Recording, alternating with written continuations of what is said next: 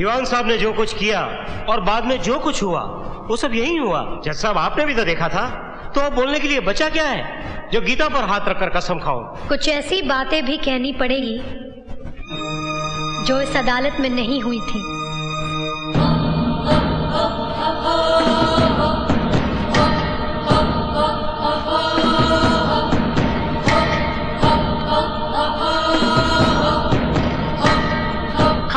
ठहरे गरीब लोग। हमारे पास न तो दहेज देने के लिए रुपए हैं और न ही वकील की फ़ीस के लिए। इसलिए मैं खुद ही इस केस की पैरवी कर रही हूँ।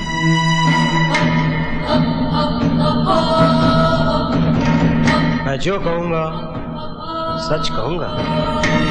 मिस्टर अंकुश आपको एक वादा करना पड़ेगा कि मैं आपसे जो कुछ भी पूछूँगी आप उसका जवाब बहुत ही शांति से दीजिएगा। शांति से ही जवाब दूँगा। भड़क मत जाइएगा जी हरगिज नहीं। सुना है आपकी माँ वैश्या थी मुँह संभाल के बात कर। आपकी माँ वैश्या थी या नहीं? खबरदार मेरी माँ के बारे में कुछ भी बोला तो। साली कमीनी।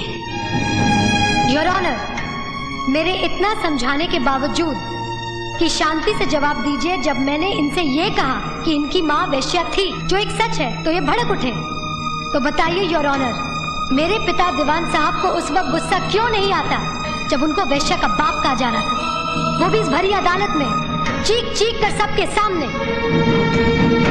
मिस्टर अंकुश आप रिवॉल्वर अपने पास हमेशा रखते हैं या नहीं? हाँ। योर ऑनर रिवॉल्वर हमेशा अपने पास अक्सर वो लोग रखा करते हैं जिनके पास बहुत सारी दौलत होती है या शोहरत? दौलत तो आपके पास है। पुजारी जी आज अदालत में तलाक का केस है। वहाँ बहुरानी पर जी भरकर कीचड़ उछाला जाएगा। बेचारे शरीफ लोग हैं। उनकी इज़्ज़त की तो मुसीबत में शरीफों की कभी इज़्ज़त नहीं घटती। जला भी डालो सोने को, मगर कीमत नहीं घटती। मिलॉर्ड, एक औरत जब किसी की धर्मपत्नी बनती है तो वो अर्धांगिनी कहलाती है। यानी कि आधा अंग। और जब किसी इंसान के आधे अंग पर कोड़ हो जाए या सड़ जाए तो उसे दुनिया का कोई भी डॉक्टर नहीं बचा सकता। लेकिन आपका कानून उसे बचा सकता है। उसे उसकी धर्मपत्नी से तलाक दिलाकर मिलॉर्ड निरंजन चौधरी की धर्मपत्नी पूजा, धर्म और पत्नी दोनों के ही नाम पर कलंक है। ऐसी औरत छूत की बीमारी की तरह होती है जैसे जीती, जागती, मौत है वो। और यही वजह है कि मैं अदालत से निरंजन चौधरी के लिए जीवन दान चाहता हूँ। और यह तभी मुमकिन है जब इसे उस वेश्या से तलाक दिला दिया जाए। मिलॉर्ड इससे पहले कि इस केस की कार्रवाई शुरू हो मुझे इस अदालत से कुछ कहना है। इजाज़त है।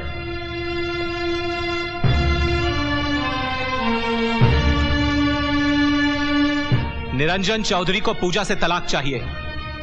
हम वादा करते हैं कि जिन हाथों पर उसने मेहंदी लगाई थी, उन्हीं हाथों से वो तलाक के कागजात पर दस्तखत करेगी। लेकिन हमारी शर्त है कि ये केस यहीं खत्म कर दिया जाए। लेकिन आप ऐसा क्यों चाहते हैं? तुलसी का पौधा अगर अच्छा नहीं लगता हो तो उसे घर से निकाल दो। लेकिन उसे इस हालत पर न पहुँचा दो कि वो न पूछने के लायक रहे और न जीने के। हमें इन चीज़ों से कोई मतलब नहीं। रही तलाक की बात तो वो हम कोर्ट से ले लेंगे। मिलॉर्ड ये पूजा से सिर्फ़ तलाक ही नहीं भरी अदालत में उसकी इज़्ज़त पर कीचड़ उछालकर उससे जीने का अधिकार भी छीनना चाहते हैं। और ये इजाज़त मैं इन्हें कभी नहीं दूँगा। आप कानून के साथ खेल रहे हैं। आपको तो कानून की रक्षा करनी चाहिए। आज मुझे कानून की नहीं अपनी औलाद की रक्षा करनी है। मैं तुम्हें आखिरी बार पूछता हूँ तुम ये केस वापस लेते हो या नहीं?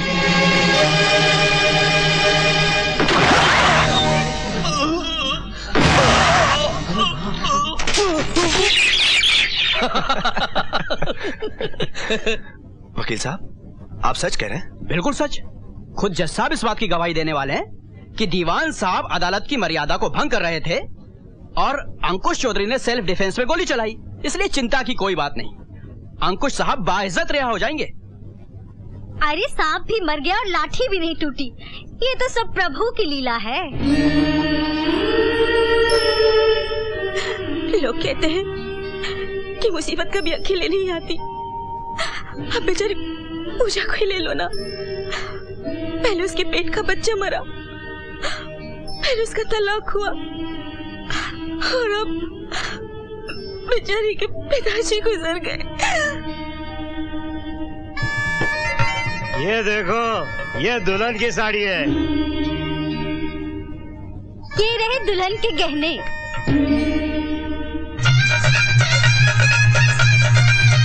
राम नाम सत्य है राम नाम सत्य है राम नाम सत्य है राम नाम सत्य है राम नाम सत्य राम नाम सत्य है राम नाम सत्य है। माँ दुर्गे का रूप धरूँगी। मैं उन लोगों को तिल तिल मारूँगी मैं तो मर चुकी हूँ। मैं उनको तबाह बर्बाद कर दूँगी। मुझे चालीस किलो लकड़ी चाहिए। अपने लिए? हाँ। छत बनाने के लिए कि जलाने के लिए? जलाने के लिए। हाउ? अपनी चिता जलाने के लिए? पहले से ही लकड़ियाँ इकट्ठी कर अबे ओ मुँह संभाल के बात कर। अभी मेरी मरने की उम्र नहीं है। अभी दो साल पहले मेरे बाप ने दूसरी शादी की है। हाउ? फिर तो उनको मुबारकबाद देनी चाहिए। कहाँ मिलेंगे वो? वो अपने बाप से मिलने गए हैं। हाँ। यानी कि उनके बाप भी ज़िंदा है। लगता है कि पूरे खानदान ने आबे हयात पी रखी है। ये पंडित जी आजकल शादी कराने का धंधा बंद कर दिया क्या? अरे उन कमीनों के चक्कर में तो मैं पिटते पिटते बचा हूँ। क्या? चलो चलो लकड़ी वज़न करो।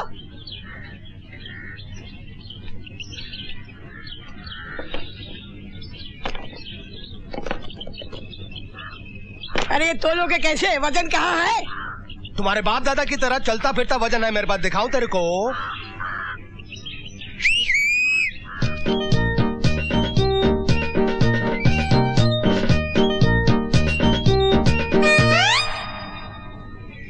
ये बताओ तुम इन्हें वज़न की जगह क्यों इस्तेमाल करते हो? ये लोग रात भर जागते रहते हैं। दिन भर काम करेंगे ना तो थक कर जल्दी सो जाएँगे। और फिर उसके बाद मेरा सपना पूरा हो जाएगा।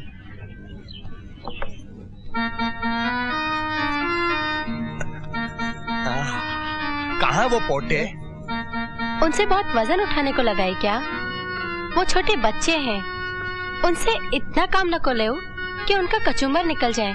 पोटे सचमुच सो गए। जाके खुद ही देख लो। एक मिनट देख कर आता हूँ। सोना नहीं।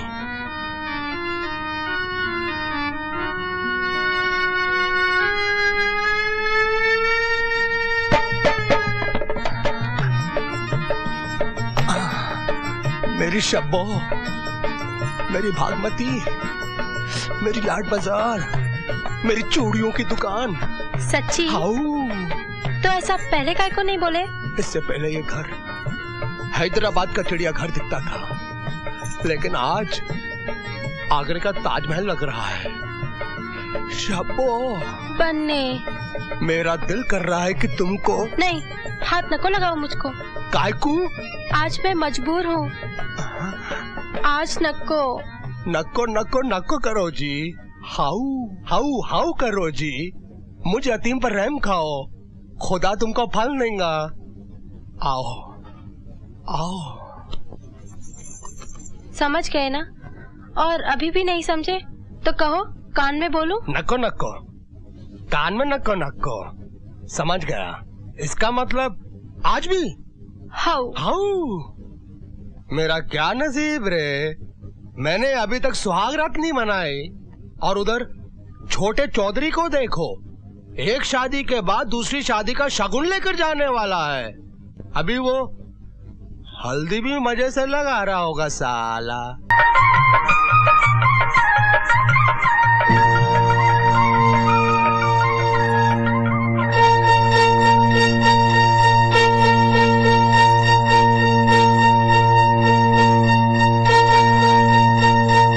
इतना डर क्यों गए? मैं तो सिर्फ़ हल्दी लगा रही थी। कोई कफन नहीं पहना रही थी। ये रही वो जेवरों की लिस्ट, जो दीवान साहब ने दिए थे। और साथ में मांग टीका भी है, जो इनकी बहन से ज़बरदस्ती छीन लिया गया था। अगर आप लोगों की बेईमानी की नियत नहीं है तो इन्हें जल्द से जल्द लौटा दें। वरना हम अदालत का दरवाज़ा खटखटाएँगे। उन्होंने दिया ही क्या है? जो भी दिया है, हम सब लौटा देंगे। वैसे भी भिखारियों की हम कोई चीज़ नहीं रखते। भिखारी तो खाली हाथ भीख मांगते हैं, मगर आप लोग तो अपने ही बेटे को कटोरी की तरह आगे बढ़ाते हो और भीख मंगवाते हो। दे दे बाबा, बेटे के नाम पे। आप लोग तो उन भिखारियों से भी गए गुजरे हैं। लानत है आप सब पर। चलिए वकील साहब।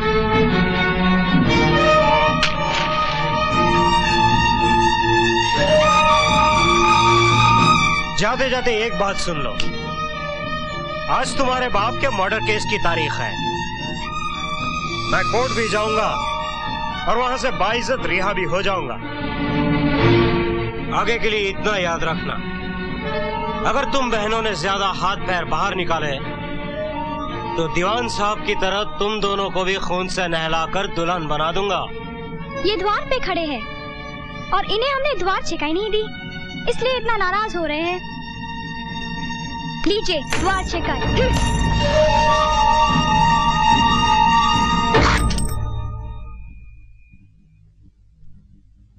पिताजी आपका हत्यारा बहुत खुश है कि वो आज कोर्ट से रिहा हो जाएगा। लेकिन मैं ऐसा नहीं होने दूँगी। उसने सेल्फ डिफेंस के कानून का सहारा लिया है। मैं भी उसी कानून का सहारा लूँगी। ताकि सांप भी मर जाए और लाठी भी ना टूटे। दीवान साहब ने जो कुछ किया और बाद में जो कुछ हुआ, वो सब यही हुआ। जज साहब, आपने भी तो देखा था। तो बोलने के लिए बचा क्या है? जो गीता पर हाथ रखकर कसम खाओ। कुछ ऐसी बातें भी कहनी पड़ेगी, जो इस अदालत में नहीं हुई थी।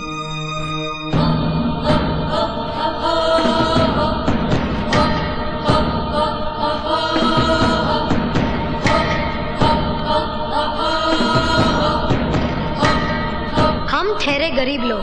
हमारे पास न तो दहेज देने के लिए रुपए हैं और न ही वकील की फ़ीस के लिए। इसलिए मैं खुद ही इस केस की पैरवी कर रही हूँ।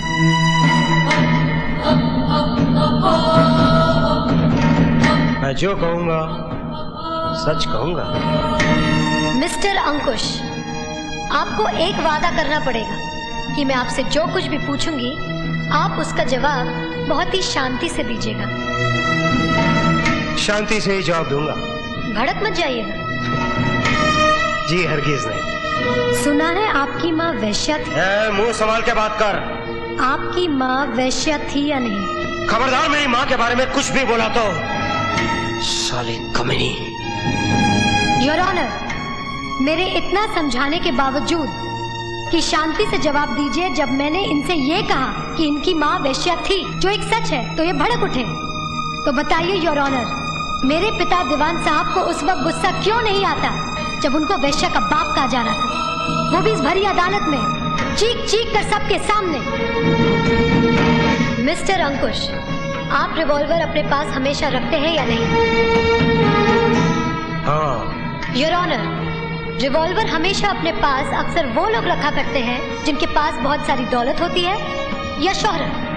दौलत तो आपके पास है नहीं क्योंकि चरस पीने के लिए पैसे भी आपको ससुराल वालों से भीख में मांगने पड़ते हैं। अब रही शोहरत की बात। तो इतना मैं दावे के साथ कह सकती हूँ कि आधी रात के बाद गली के आवारा कुत्ते आप पर भौंकते ज़रूर होंगे। आपके पास न तो दौलत है न शोहरत। फिर अपने पास रिवॉल्वर रखने की वजह क्या है?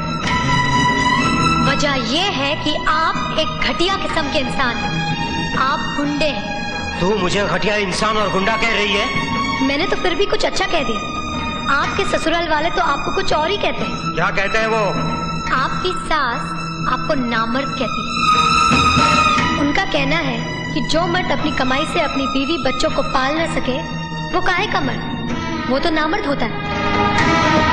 क्या आप साबित कर सकते हैं कि आप इस लिहाज से नामर्द नहीं है? यू शट अप आप उनके झूठन पर पलते हैं। इसलिए आप उस वफादार कुत्ते की तरह हो गए हैं जो मालिकों के कुछ कहने से पहले ही भौंकना शुरू कर देता। बताइए दीवान साहब ने आपसे कुछ कहा था? नहीं। चौधरी खानदान ने आपसे कुछ करने के लिए कहा था? नहीं। तो फिर आपने गोली क्यों चलाई? योर ऑनर जो अपनी ज़िंदगी अपनी खुशी से झूठन और उतरन के सहारे गुजारता हो वो हर रात बिकने वाली उन बाजारू औरतों से भी ज़्यादा गंदा और घिनौना होता है। ए, ए, बहुत बोली। अब आगे बोलेगा तो। बस बस रहने दीजिए। मुझे मत डराइए। मुझे मालूम है कि दुनिया में ऐसी कोई दवा नहीं बनी है जो आप जैसे नामर्द को मर्द बना सके। रामसादी मैं तुझे ये अदालत है। यहाँ किसी को धमकी देना अदालत की मर्यादा के खिलाफ। अदालत की मर्यादा की ऐसी की तहसील तेरी तो